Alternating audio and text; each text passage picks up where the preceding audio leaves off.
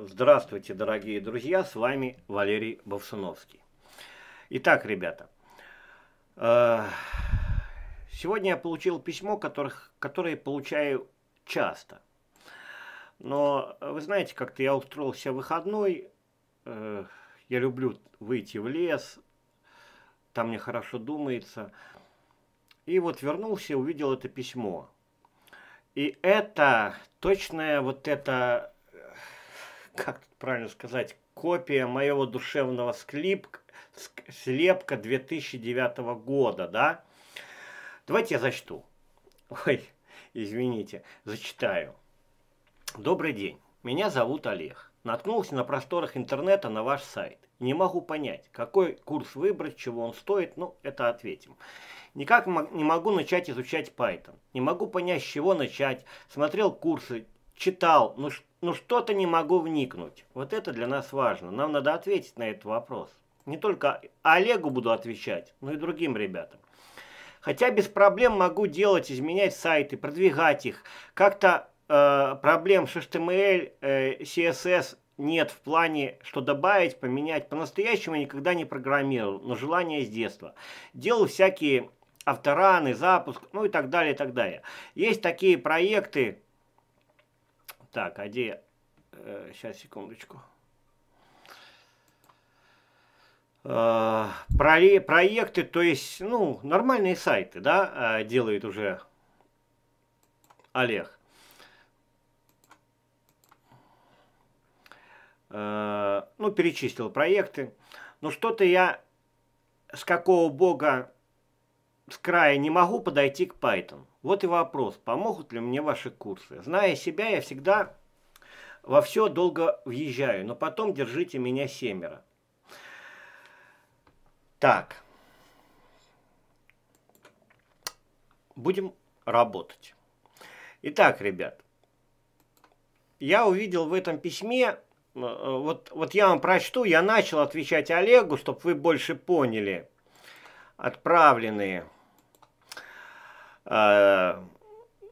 Олег, скидка будет продлена, не переживайте, у нас с вами сходный тип ума, моя копия. Программировать будете точно. Пока ничего не оплачивайте, подождите следующего письма, я запишу видео. Оно, конечно, вам, но и другим ребятам, которые не могут войти в язык. Сейчас я запишу видео и дам ответ. Благодарю за доверие. И вот я начал писать, я вам тоже, тоже, тоже зач, зачитаю. Э я начал писать ответ, но потом понял, что нужно записать урок. Пока прочтите, что же написал, ждите письма. Олег, я вас очень хорошо понимаю. У нас с вами очень сходный склад ума. Так, в 2009 году, это я про себя пишу, я тоже пытался начать программировать, пробовал PHP, C-Sharp, Delphi, скачивал разные курсы, но никак не мог понять, как вообще начать программировать.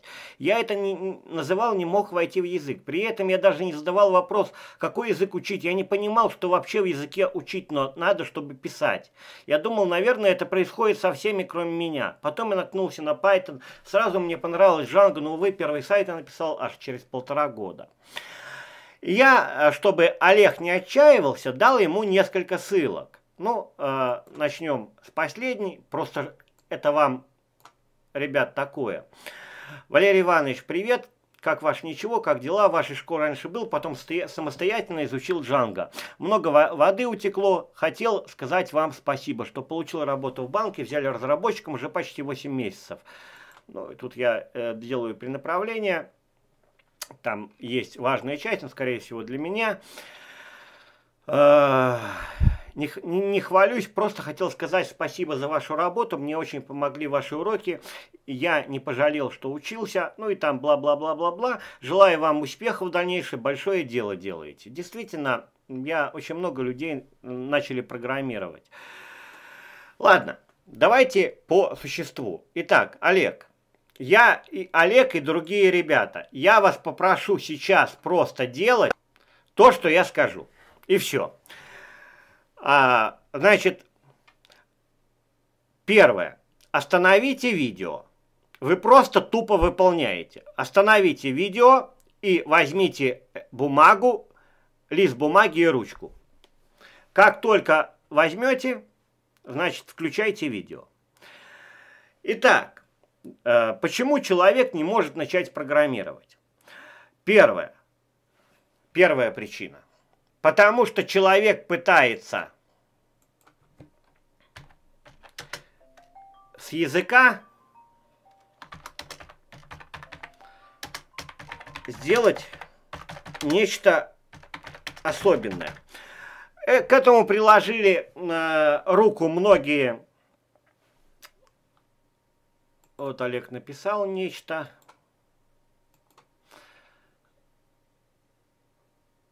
Ваш курс. Но прежде чем вам писать, я посмотрел все отзывы, пару ваших видео и предыстории работы ваших учеников. Уверен, что начну кодить. Но так как упрямый, но вот два месяца книги написаны на китайском, а с лекции два... Ну, в общем, хорошо, буду ждать письма. Все верно, Олег, уже работаем. Особенно, ребят, первое, взяли лист бумагу и ручку, да, делаем. Итак, напиши, э, давайте даю задание. Значит, э, вы собрались на, на рыбалку. Э, либо описывайте свое какое-то желание. Девчата описывают то, что у них хобби. Швейное э, дело, э, цветы, все. Итак, задание номер один. Напишите список, что вам надо. Вот, вы собрались на рыбалку, пишем список. Первое, мне надо там вот все, что на вас одето будет, включая, мне надо одежда, мне надо удочка, мне надо э, подкормка, девчата пишут, э, кто, допустим, собрался, собралась э, садить, высаживать цветы, мне надо э, лопата, мне надо, э, значит, грабли, мне надо, что там надо, э, мне надо вскопать, что, где вскопать, пишем, просто тупо пишем, список. Итак, я для мальчиков пишу, поэтому девчата сами. Пишем на рыбалку. Костюм. То есть одеться, да, одеться. Рыболовному. Удочка. Прикорм. Наживка, удочка, прикорм, наживка, маршрут. Сделали список? Сделали. Ребят, а теперь просто в этом списке с краев поставьте две скобки квадратных. Как они, я, может, немножко возбужден вот такие вот скобки. Поставили. Вот первый ваш код. Ребята, вся проблема в том, что первое, вы, э, когда читаете книги, в книгах просто идет перечисление языка. И э, читали вы Луц или кого программировать вы не будете. Если вы будете пытаться думать как программист, то есть задавать вопрос, а как думают программисты? Да есть твою раз! Да никак они не думают, как обычные люди. Язык создается, как наш ум работает. Язык подстраивается под ум. И не надо выдумывать и слушать разную, извините за меня, хрень, что надо думать как программист. Вот, вот, что здесь? Так вот, а объясняем смысл. Смотрите, мы перечислили одеться, удочка, прикорм, наживка, маршрут. Теперь подумаем. Мы пишем программу «Поехать на рыбалку». Значит, если мы хотим перечисления, вот э, человек же пишет списки там э, в магазин, в данном случае на рыбалку, как список через запятую. То же самое, допустим, есть в языке программирования Python. Это тоже называется список и здесь добавляются элементы. Единственное, что нам надо разобраться, это как объяснить компьютеру. Вот, допустим, когда мы ставим квадратные скобки, это значит компьютеру мы говорим, это список, то есть все перечислено. Второй момент. Если это слово, компьютер ведь слово не понимает, но достаточно нам поставить я здесь не могу этого сделать, кавычки, поэтому мне придется открыть другой файл, вот это перенести в другой файл. Может быть мелко, но вы будете понимать. Потом мы вернемся сюда. Это письмо Олегу. Смотрите, вот как только я поставил двойные кавычки, разделил слова, это значит уже компьютер это воспринимает как строки. Грубо говоря, только что мы с вами рассмотрели два типа данных. Первый тип данных – это список. Это просто квадратные скобки. И второй тип данных – это строка. Это просто кавычки, двойные или одинарные. Теперь э, вопрос на ответ на первый. Чтобы начать программировать, первое, надо изучить типы данных.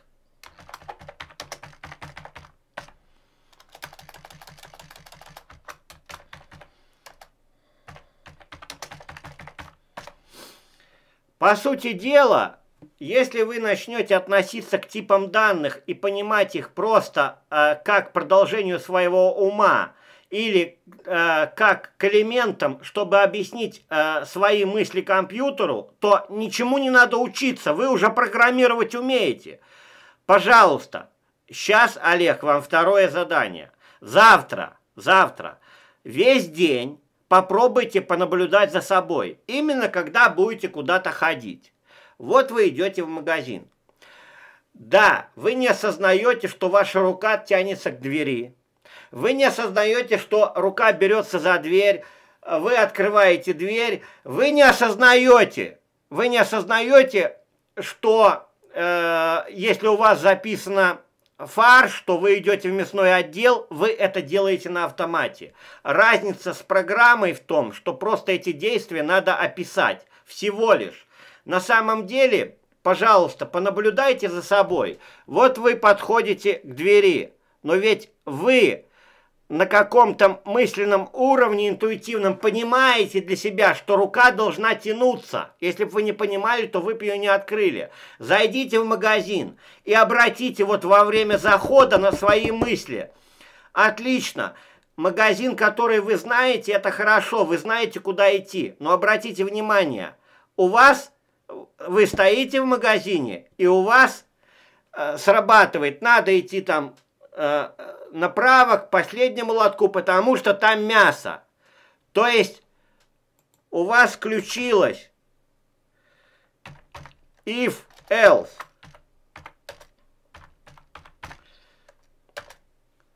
Оно у вас постоянно работает. Если магазин закрыт, идти домой. Если магазин открыт, то открыть дверь, зайти, пойти направо-налево. Опять же, ребята, программировать может каждый.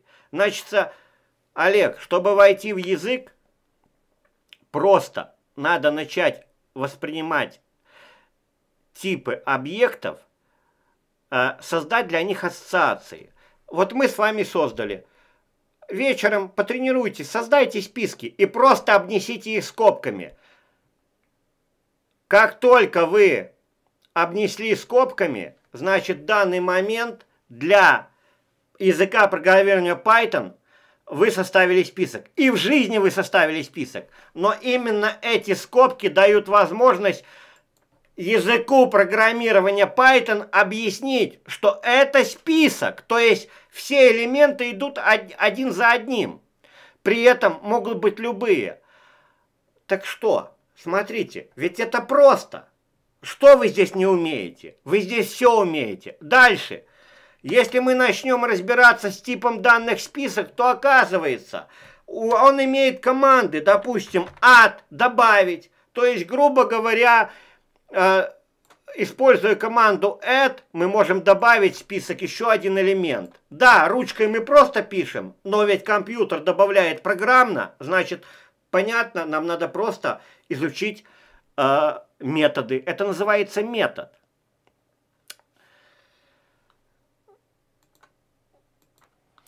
Теперь а, еще один тип данных возьмем. Вы едете на автомобиле. Смотрите, у вас а, в кармане права.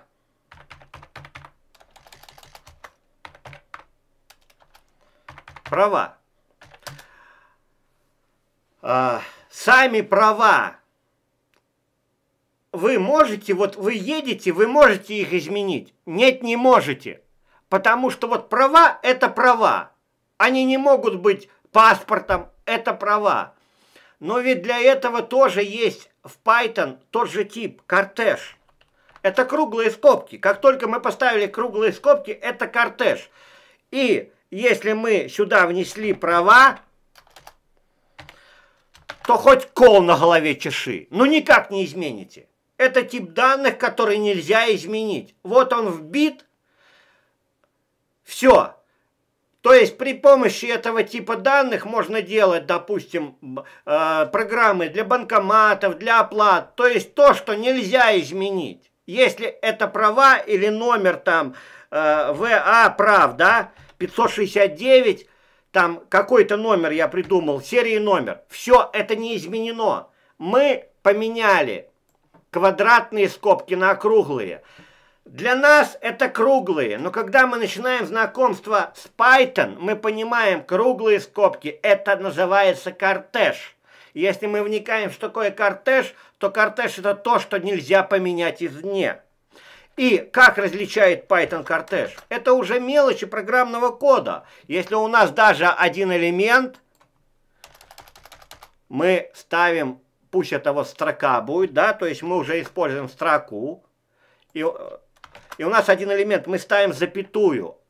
Это именно так мы объясняем языку программирования Python, что это кортеж. Если запятой не будет, Python не распознает. И вот с этим связаны, допустим, ошибки в Django, в кортежах, то есть человек забывает. А я говорю, ребят, ну ставьте вы везде запятую в конце, и все будет нормально. Так вот, на самом деле начинать нужно с типов данных. Но когда мы тупо читаем Луца и, и читаем там, да, ребят, смотрите, в чем, в чем пробел? В чем пробел? Почему начинающий человек не может начать программировать? Пробел вот он. Это Луц. Луц великолепнейшая литература, но для человека, который соображает, это справочники. А вот вы, вы читаете у Лутца про тот же список, да? Э, вы там читаете, допустим, и Луц, э, в чем минус? Луц приводит э, математические примеры, которые вам ни о чем не говорит. Вот он пишет там, вот это список, можно делать то, то, то. Но у вас ассоциации, ребята, нет. Вы понимаете, вы читаете список, ну список, ну а мне что до этого списка? Ну, грубо говоря, почитали и все. Но как только мы сели с вами, написали только что э, на рыбалку, то есть вы к себе применили этот же список, то сейчас вы залезьте в Луца и уже будете смотреть, как добавить объект, и вам будет понятно. Метод поднесения материала разный. Вот почему у меня люди программируют. Я рассказываю просто. Значит, ребят, это первый момент. Э, мы можем смело себе сейчас начать записывать, чтобы начать программировать. Первое. Типы данных. Да их немного вам хватит в начале и вообще всем хватает. Список, словарь, строка, э, кортеж. В принципе, даже четыре типа э, от и до. Но вопрос, как применение типа. Типы данных в школе есть, конечно, есть. Когда вы приходите в школу и оплачиваете, допустим, вот сайт spb-tut.ru для новичков, то вы обязательно получите в подарок бесплатно при оплате мой первый сайт, когда-то я делал этот курс, понимаю, дети 6 лет, э, работа с Python. Изучаем язык программирования Python от А до Я. И вот вы смотрите первые уроки и продолжение. И вот как раз эти типы данных. Тут и есть. И это только начало пути. То есть здесь есть много чего. Язык отложится чуть позже. И сейчас эту работу в школе я веду. Сейчас я расскажу. Значит, ребят, теперь смотрите. Существует определенный разрыв между изучением языка и, начать, и тем, как начать писать. После уже практически 8 лет преподавания я этот вопрос решил. Ну, например, что сейчас происходит в школе? Вот смотрите. То есть я сам э, часто скучаю. Вот Асачи, новичок, уже начинает писать на двух языках. И довольно неплохо. И на основе вот этого Сергея Асачева, вот смотрите, а ведь он, он не так давно вообще ничего не соображал. Вообще ничего. Но сегодня он пишет код, который описывает с пониманием. И я его письма складываю вот сюда. То есть хочу с них сделать курс, а вы, кто пришел, можете спокойно это сообщение вы увидите и проделывать. Как я здесь занимаюсь? Э, скажу сразу, это не запланировано, и в принципе э, я особо, я писал курсы, но вижу, что появились люди, которые хотят. И я начал давать задания. Вот, допустим, Сереж, э, то есть Олег, что мы с вами говорили? Вот начал он с того, как построить дом. Кирпич, лопата, песок, цемент, список. А потом я начал ему просто давать задания. Проделывайте это, эти задания, я их ниоткуда не беру. Я вот смотрю, что он пишет, и соображаю, что, куда его дальше вести, или любого новичка, и просто даю задание на основе ответов. И вот он начинает писать. А, дальше, дальше. Потом я придумал задачу про зоопарк, и он уже описал зоопарк где-то. О, благодарю, а это он Сашу. А, круто, спасибо. В общем, он пишет, что у него получается, но я вижу, по коду получается. Это он уже а, я давал задание, я его не нашел сейчас, про зоопарк. Ну, придумал, придумал, но тем не менее, смотрю, прошло немного времени, а вот поиск можно вот так сделать. То есть, грубо говоря, э, ну, увидите. Вот здесь, э, что начал применять Осачий Сергей. Вот то, что, про то, что я говорил. Я ему сказал, вот тебе зоопарк. Попробуй определить, какие типы данных у, у тебя будут. А, пять вольеров. И а, полностью задача описана, здесь она есть. И вот он правильно определил, поиск он определил словарь, то есть по ключам. А, сама задача, где-то ее можно найти, конечно, но я сейчас не буду.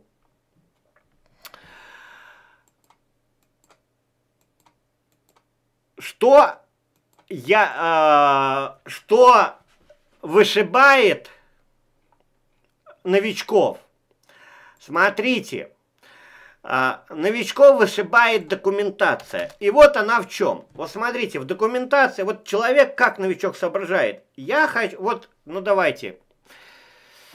Сейчас я попытаюсь, чтобы вы меня именно поняли.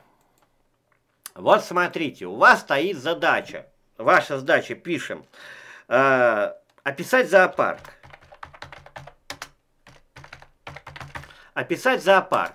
То есть, ну давайте, чтобы время экономить, у нас есть 5 вольеров и 5 животных, да? Ну, э, пока хватит. И вот это ваша задача. А вот это стоп, стоп, стоп, стоп, стоп. А вот это вот в данном случае, это доки любой, любой библиотеки. Там не написано подсчитать 5 вольеров. В доках написано так, допустим, элемент извлекает список. И новичка здесь вырубает. Вырубает до тех пор, пока он не начинает думать, вот как я показывал в начале. Смотрите, если мы понимаем, что список это перечисление, и у нас 5 вольеров, то, допустим, мы читаем в, в доках аль, да, метод аль, там извлекает все элементы списка. Там нету, что вольер, потому что ведь извлекать все элементы можно и описывая зоопарк, и описывая учебное заведение. Поэтому доки составляются таким образом. И вот когда, ребята, смотрите, вы начи- изучили типы данных, и вот как я в школе сейчас начал, есть у нас конкретная задача, 5 вольеров. Теперь, э, смотрите, давайте рассуждать логически. У нас есть вольеры. Ну вот вы, как нормальный человек, Олег, это сто процентов вы уже давно сто лет программируете. Подумайте, у вас есть пять вольеров. Хорошо. Как вы, э, при помощи чего вы их опишете? Вот возьмите лист бумаги и ручкой и пишите. Пять вольеров. Правильно. Вы думаете, перечисление вольеров, это может быть и список, и кортеж. Ну, возьмем список. Пять вольеров. То есть вольер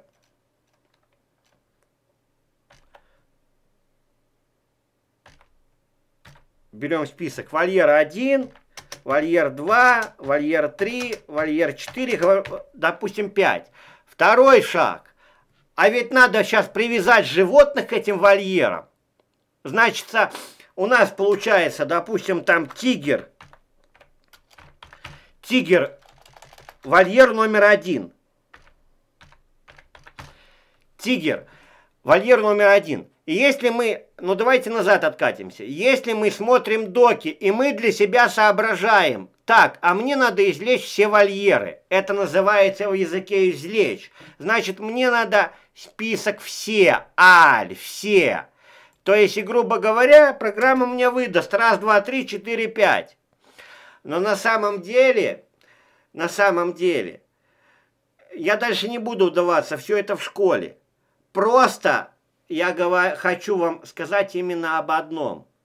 Разрыв происходит именно до тех пор, пока вы каждый тип данных не дадите ему ассоциацию. Вот как мы с вами давали список.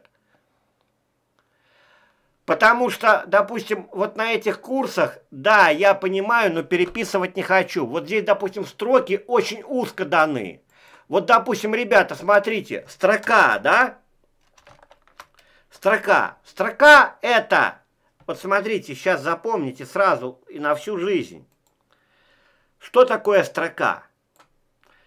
Правильно. Луц описывает узко. Я сказал узко. Сейчас скажу широко. Грубо говоря, вот строка, ребята. Для языка Python две одинарные или две двойные кавычки строка. Давайте мы попробуем. Олег, что вы сейчас делаете? Записывайте слово Олег. Записали? Возьмите теперь вторую бумагу и расположите буквы так, чтоб не было слова Олег. И отнесите матери там, жене, другу. Вот читай, несите! Несите! Отнесли. Что он увидит? Вы написали сначала Олег. Олег. А другу отнесли, допустим,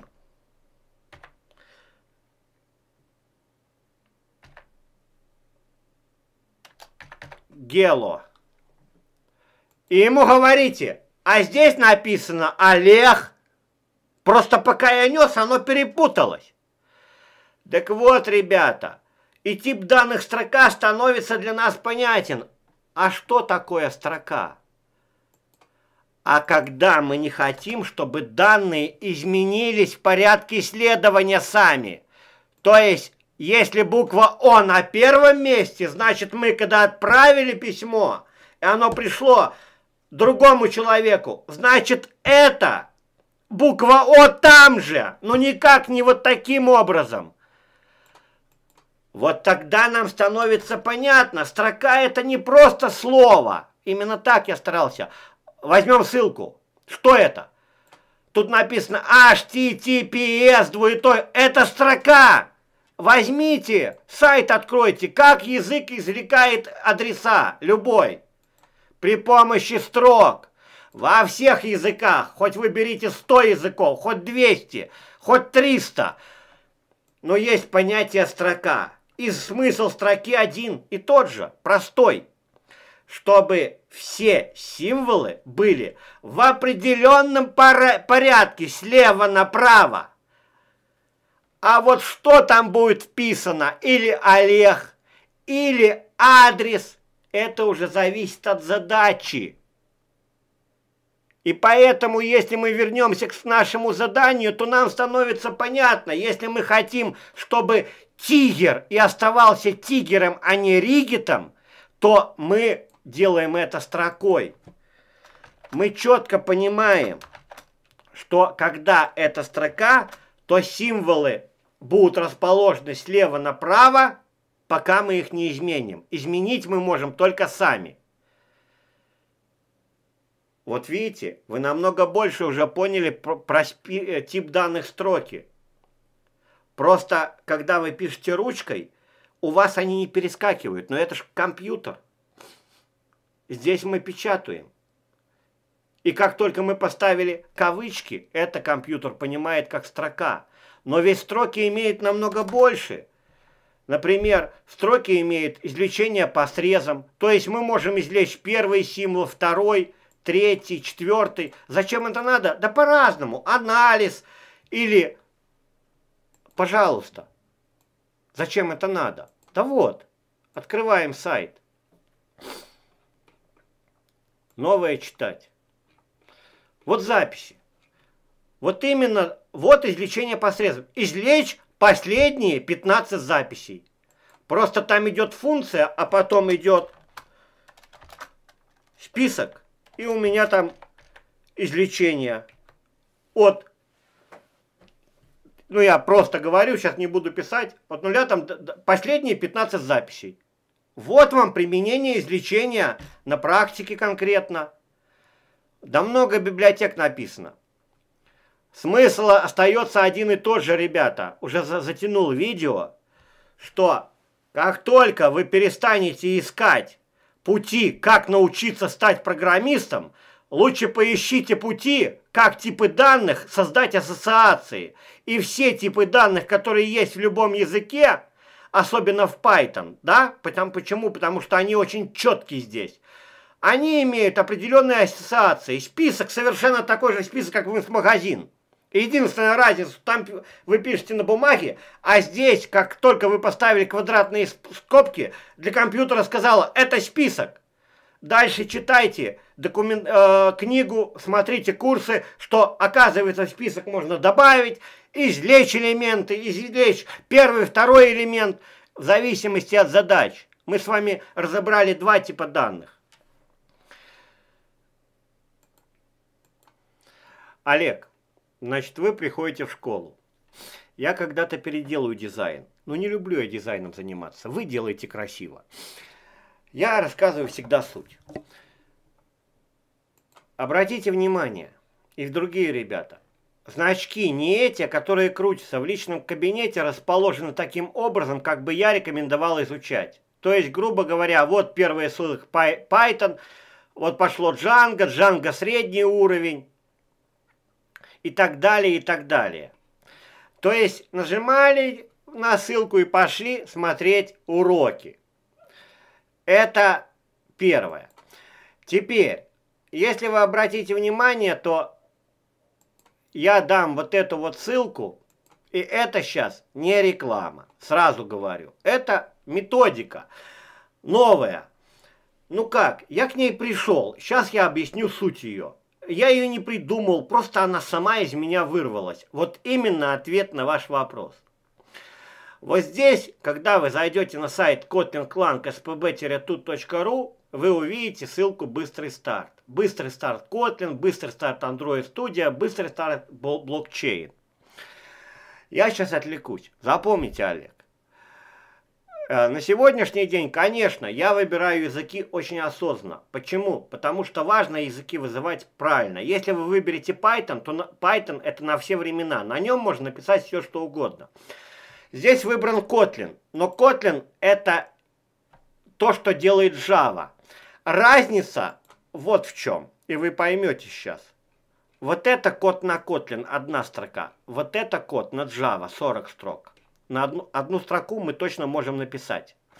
Так вот, у вас будет мобильный рынок и Java, и Python. А это значит, вы сможете браться за любую программу. К чему я? Я рекомендую, но ни в коем случае, вот как только человек скажет, это реклама, да, сейчас, а, выключайте видео, идите, идите с моих глаз. Слушайте умные речи. Я говорю, может быть, неправильно. Да, я, ну так я произношу слова, может, не все верно. Может быть, эмоционально. Но у меня люди пишут, все пишут, все начинают писать. Быстрый старт Kotlin вам надо. И вот здесь прочитайте исповедь программиста, как правильно выбрать язык. Смысл заключается в том, что изучать надо два языка. И вот вам пример Осадчева – я не зря вот беру, да? Этот человек не так давно пришел в школу. Сегодня он пишет программы. Смотрите, они красивые. Но заметьте, он такие же программы пишет и на Kotlin. И ему понятно. Так, вот группа. Просто сейчас я расскажу, в чем суть этой методики сейчас, к которой я пришел. Ой, вот, домашнее задание по Kotlin. Обратите внимание, школа. В школе не надо рыться по группе. Все рубрики прицеплены к плану. То есть вы с плана будете переходить. Ну, допустим, берем числа, вот мы прошли, да? И смотрим, Асачи, Асачи просто выполняет задание. И смотрите, он пишет код и на Kotlin, и на Java начинает писать. Ответ прост, новичок – что семи пядей во лбу? Я у него спрашивал. И на, и на, на питон пишет. И зоопарк уже описывает вовсю. Так делайте это с ним. Только не смотрите, что он, он ведь он с нуля делал. И я его ругал за свои ошибки, потому что в начале в курсах я а, называл функции русскими. Сейчас говорю, не надо повторять.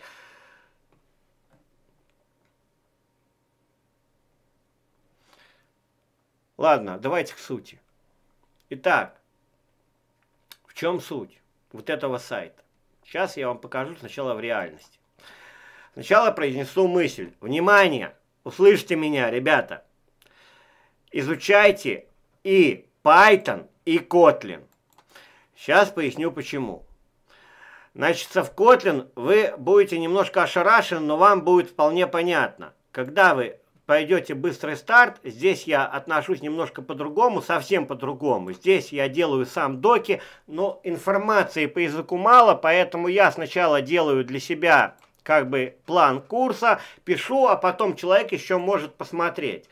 И если здесь более-менее все по порядку, то на самом деле, на самом деле, э, по урокам, когда вы пойдете, да, а вот они курсы, то вы увидите объявление переменных, потом бац и сразу функции. Но люди ведь, я же вам показывал, Асачи, Ситушкин, ребята пишут. А вот в чем суть методики, ребят, смотрите.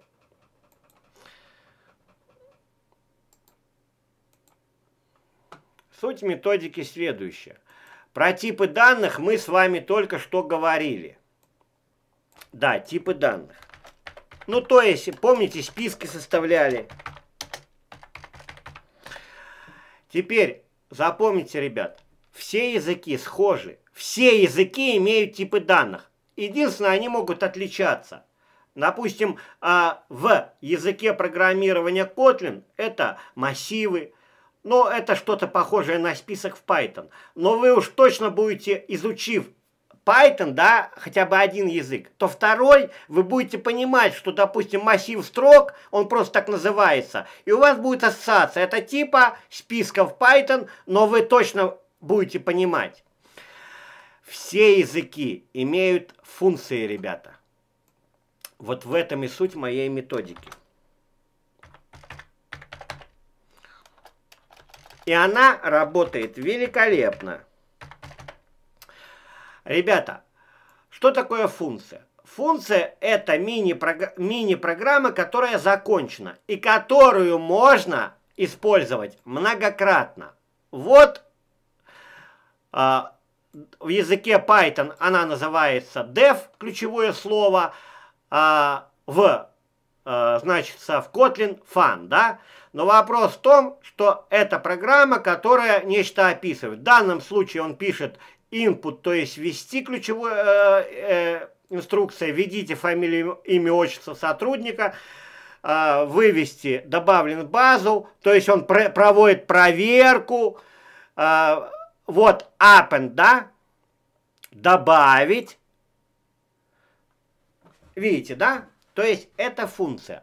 Так вот, ребята, когда я понял, что надо на что-то опираться, и опираться надо именно на функции, потому что в любом языке, который современный, функция это рабочая лошадка. Но одно дело, мы берем интерпретатор и компилятор, мы все это разбираем. Мы берем интерпретатор или компилятор и начинаем там нечто кодить, да, грубо говоря, вот как мы писали, сейчас я вам пишу. Ой, надо открыть.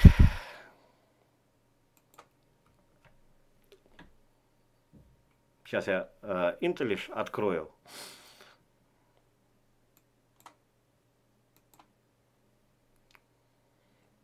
Так, а я немножко переделывал систему, там надо сбросить. Ну да ладно.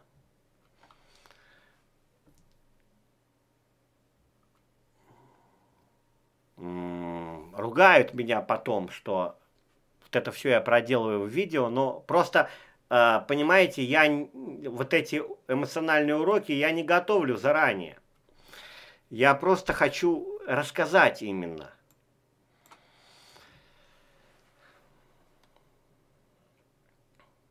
Просто сейчас покажу. Сейчас, секунду буквально. Подождите, пожалуйста.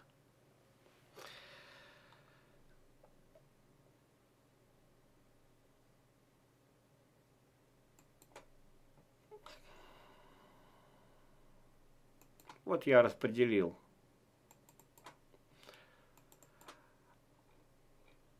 Сейчас, сейчас, сейчас. Обратите внимание. Сейчас я покажу, очень это важное.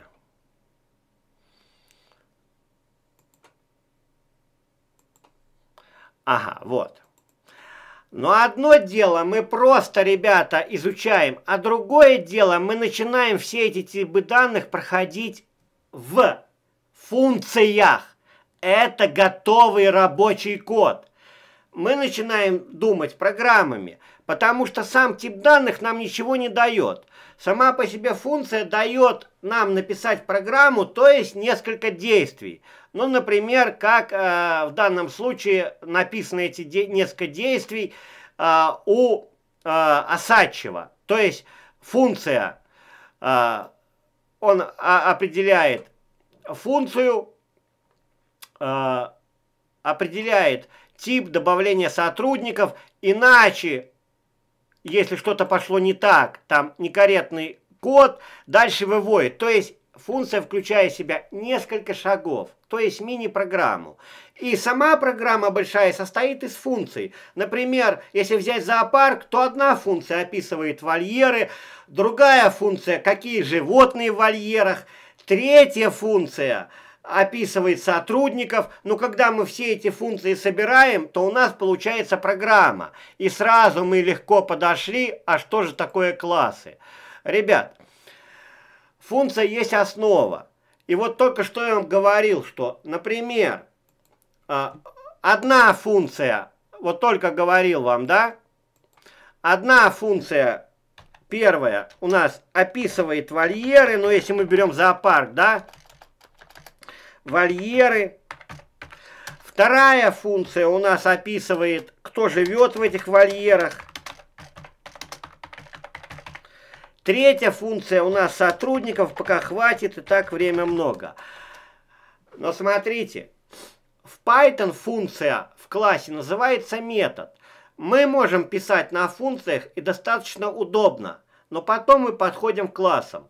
Чем, что такое класс? Создание нечто нового. Просто по сути дела, что бы мы сделали? То есть, когда мы создаем класс, грубо говоря, все функции, которые были отдельно, мы пишем в классе теперь, да? Просто ключевое слово здесь называется уже класс. Класс.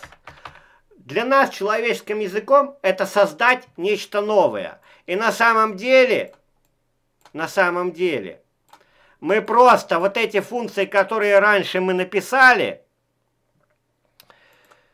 сейчас я должен их, мы их вместе, вместе размещаем, но впереди у нас ключевое слово класс. Зачем нам это нужно? Почему в языке есть классы? А грубо говоря, смотрите, в чем фишка. В данном случае просто функция поменяла название. В классе она будет называться метод, но это будет та же функция и также описывающая вольеры. Только теперь, смотрите, вот у нас есть вольеры, кто в вольерах, сотрудники, да? И мы хотим добавить э, Например, э, порядок распещения, э, э, то есть работа с посетителями. По сути дела, мы могли пойти и на функциональном программировании. Опять же, подключать функции, которые написаны, но нам облегчает это дело класс. По сути дела, класс имеет такую вещь, как наследование – и когда мы создали новый класс и назвали, вот этот класс у нас называется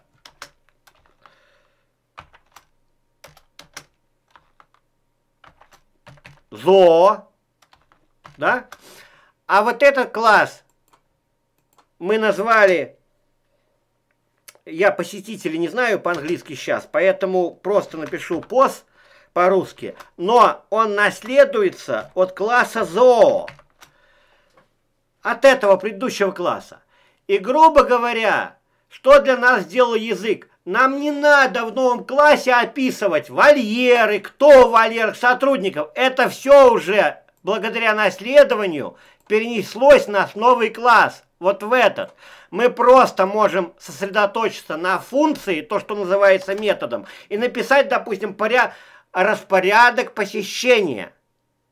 Это же просто, ребят, согласитесь, если вот так объяснить. Правильно, мы просто добавляем только одну функцию, или в классах он называется метод, но все остальные функции, они автоматически перешли в этот класс, это называется в, в языке программирования наследовались от класса зоо. И уже этот класс пост, он, это мы можем использовать. Но чтобы подойти к классам, ребята, я и пошел через функциональное программирование. Когда человек учится писать функции, не просто функции, что может функция, а учится писать типы данных использовать на практике. И вот мы в школе этим занялись. То есть начал человек расписывать зоопарк он уже решает задачу. То есть он вот это и есть называется программирует. То есть в данном случае Асачи Сергей использует типы данных для выражения конкретных вещей. Давайте посмотрим. Штат. Вот у, у него переменная штат 100 сотрудников. Дальше. Вот он использует эту переменную штат, а дописывает как строку, выводит сообщение работников в фирме. Он просто взял, э, так получилось. Дальше, вот он определил список. Он думает, что я буду добавлять сотрудников Куда?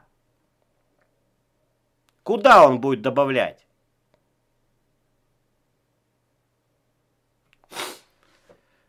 Он будет добавлять в список. Смотрите. И вот БД, а, БД, список БД1 словарь. Мы сейчас не разбирали словарь. Но мы дальше видим. БД append. БД это список, который создал Сережа. А append это стандартная, стандартный оператор работы со списками с языка, то есть который означает добавить. Понимаете?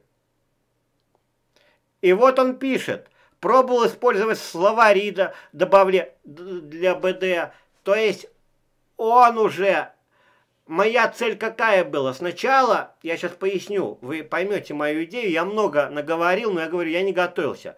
Сначала моя цель была человека научить функции писать. И мы шли здесь последовательно. Сначала я говорю, Сереж, напишите функции. Он написал, я не буду показывать, там я их не найду, времени много и так. Дальше, я понимаю, вот мы берем функцию, да? И какая разница, смотрите, там была функция на Python, но Тут функция на Kotlin. Но есть один принцип. Я говорю, Сереж, смотрите. Там в Python было def, здесь ключевое слово fun. Разницы нет, но я ему говорю, вот это вот название функции, а давайте теперь разберемся с аргументами.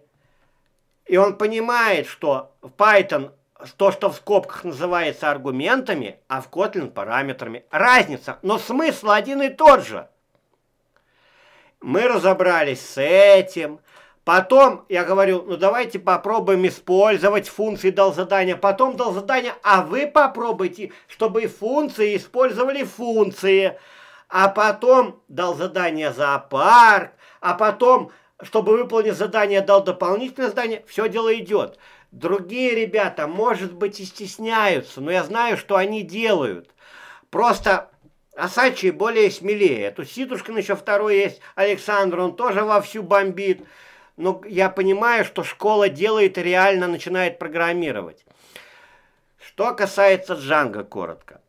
Вот это и есть программирование на чистом Python. И, и программировать может каждый. Просто вы начинаете, пусть в школу пришли, вы начинаете делать а, то есть изучили Python, начинаете делать уроки, домашние задания. Если вас интересует веб, то смотрите, ведь у вас, когда будет приходить письмо, а оно будет э, определенного вида, просто чтобы не писать, да, э, тут есть ссылка, как правильно учить Джанго. Обя обязательно прочитайте. И будете работать Джанго. Когда начинается программирование, ребят? Вот первый мы изучили, да, ребята? Пер... Давайте коротко и заканчивать. Первое, мы с вами разобрались. Сначала типы данных. Второе, программирование начинается именно с того момента, когда вы начинаете писать первую программу или работать с библиотекой. Здесь жирная точка и пишем Какую программу? Пока вы делаете по моим урокам, вы еще не программируете. Вы проходите материал. Но как только вы написали свой сайт и думаете, так, а добавлю я как комментарий, начинаете самостоятельно создавать таблицу э, базы данных, то есть делаете сами потребность сайта. Вот это уже пошло программирование.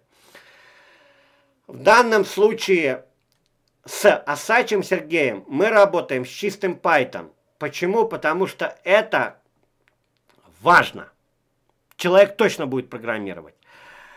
И отвечаю на вопрос, который я затронул. Помните, я вам говорил, что изучайте два языка. Ребят, запомните, все языки схожи. Вот сейчас это крик души. Когда-то, 8 лет назад, я тоже читал, что надо изучить десяток языков. Я себе думал, ой, хоть бы один выучить, я вообще ни черта не понимаю, с чего начать. Но сейчас я вам объяснил, конечно. Но это была ошибка. И сейчас я ее исправил. Во-первых, поменял методику. Когда вы будете проходить Kotlin, внимательно еще раз говорю, исповедь программиста прочитайте, будете проходить Kotlin. Будете проходить эту методику. Тут все привязано к функциям. Применяйте это и к Python. Делайте, я потихонечку все равно складываю все ответы Осачева, чтобы сделать учебный материал, хотя он не, ну, это как дополнительно. Поэтому сейчас тот, кто в школе, в группе может проделывать. Только делайте, а не смотрите, что он вот сделали, потом уже смотрите, что он там делал. Обсуждайте, делайте. И изучайте два языка. Я же вам только объяснял. Функция, она в любых языках функция.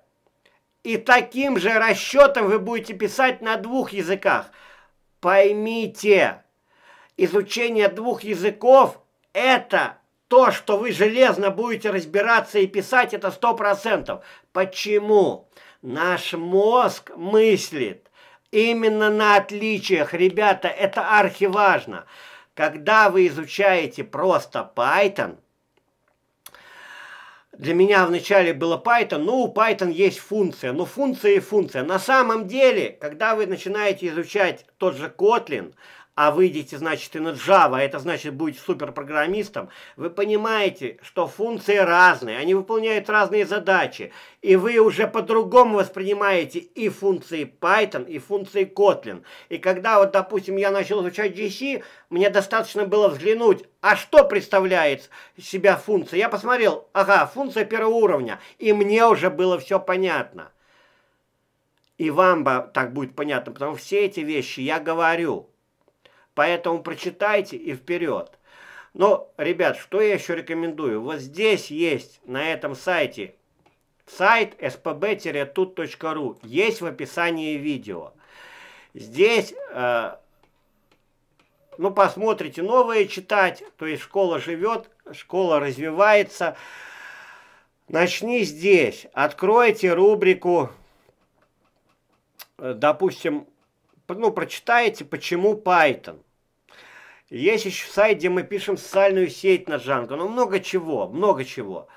В общем, ребята, я не знаю, получилось у меня ответить на вопросы или нет. Но то, что вот каждый может в школе программировать, я надеюсь, что задатки Олегу помогут начать писать. Ведь у не, именно у него ступор был, я уверен, что он читал книги, и читал про тот же список, но у него не было ассоциации, как применить. Как только он возьмет типы данных, начнет выполнять те же задания, как делает Сергей Асачий, то скоро он будет писать вот такой вот разный код. Это простой очень код, но потом будет усложняться. Но для новичка это код уже ух. В общем, ребята, спасибо за доверие. Писать будете. Я надеюсь, что я вас воодушевил и Конечно же, конечно же будете писать. И я скажу больше. Будет у вас получаться и как у меня, и у других ребят. Вот новичок, э, вы же увидели, изучает два языка, все получается. И выйдете на то, что первый язык будет сложнее. А потом язык будет действительно за 2-3 месяца. Почему? Потому что основные понятия у вас уже будут вложены. Вам надо будет просто понимать отличие, что делает, допустим, та же функция в этом языке. Везде есть методы, везде есть дополнения, но все это очень одинаково. Поэтому единственное, разобрались с синтезом и вперед. Все это делает школа. Поэтому, ну, наверное, все сказал. Спасибо.